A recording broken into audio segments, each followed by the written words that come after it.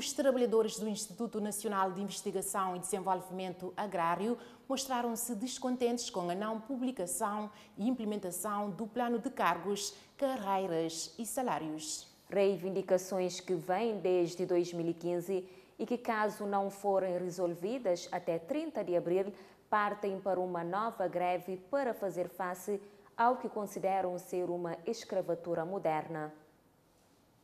Os trabalhadores do INIDA estão descontentes com a tutela pela não publicação e implementação do PCCS, uma reivindicação que vem desde 2015. Trajados de preto, em sinal de sofrimento, dizem sentir-se injuriados, desanimados e, acima de tudo, discriminados. Desde 2015, sim, senhora do sindicato e nós estamos nessa luta que ainda nunca tem solução.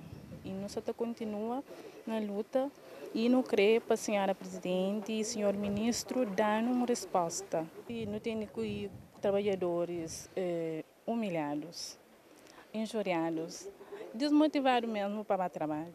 E está triste mesmo.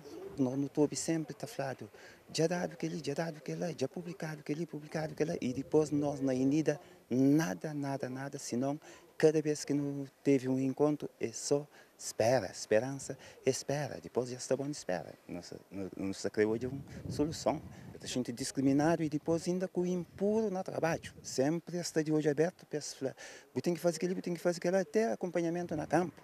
Então, não espera também, mas eles têm que dar no nosso direito ou o que nós não merecemos. Caso as suas reivindicações não forem resolvidas até 30 de abril deste ano, avançou o vice-presidente do SISCAP, partem para uma nova greve que os trabalhadores decidiram e, e decidiram partir novamente para uma greve se até 30 de abril do ano em curso não foi publicar e implementar o PCCS uh, do INIR. No entanto, o Sindicato da Indústria, Serviços, Comércio, Agricultura e Pesca exige da tutela um instrumento de gestão do pessoal do INIDA.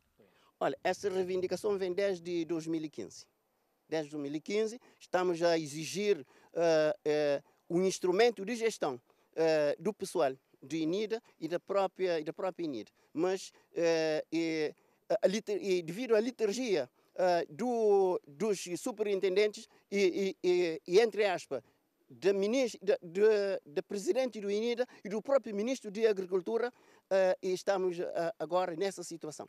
Ciscap e trabalhadores do INIDA já deram entrada no Ministério da Agricultura e do Ambiente uma baixa assinada para tentar garantir os direitos e estabilidade dos recursos humanos perante esta situação que consideram ser discriminação desses trabalhadores que estão sendo afetados pelo aumento do custo de vida.